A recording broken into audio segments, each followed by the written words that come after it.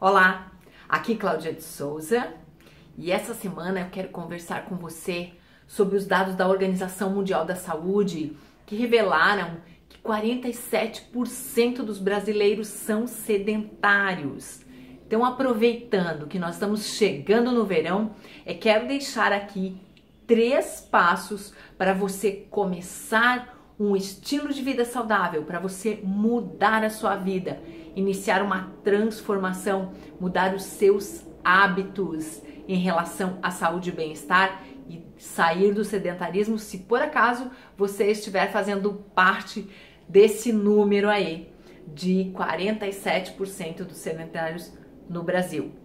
O que você pode começar a fazer? Que de uma forma leve, de uma forma que vai te tirar da inércia. Inicie bebendo água. Inclua no seu dia a dia 2 litros de água, cerca de 2 litros para quem tem aí entre 1,70m, um pouquinho mais, um pouquinho menos.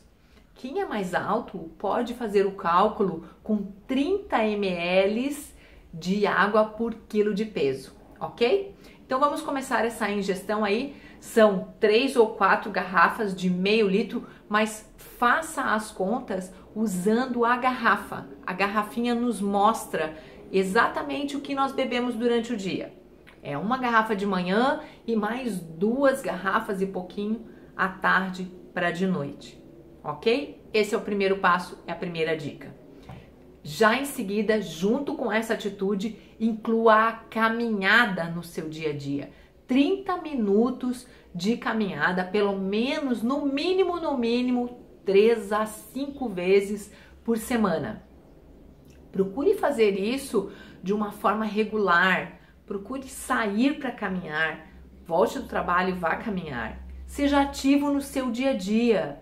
Caminhe mais durante os intervalos, em vez de você pegar o carro para ir na padaria, em vez de você descer do ônibus na frente do seu trabalho ou deixar o seu carro muito pertinho da porta do trabalho, faça também pequenas caminhadas aí de 10 a 15 minutos durante a sua rotina diária, isso vai te ajudar. Mas priorize tirar pelo menos três vezes na semana e caminhe 30 minutos com seu tênis, seu short, uma camiseta para para aliviar as tensões e ativar o seu metabolismo. Caminhe de forma que você não possa ficar conversando muito tranquilamente sem ficar ofegante, tá? É para mexer o sangue mesmo, fazer o sangue correr mais rápido nas veias, nas artérias e isso libera as endorfinas do bem-estar, faz com que a gente se sinta melhor. Com essas duas atitudes, você vai perceber que poderá melhorar também a sua alimentação.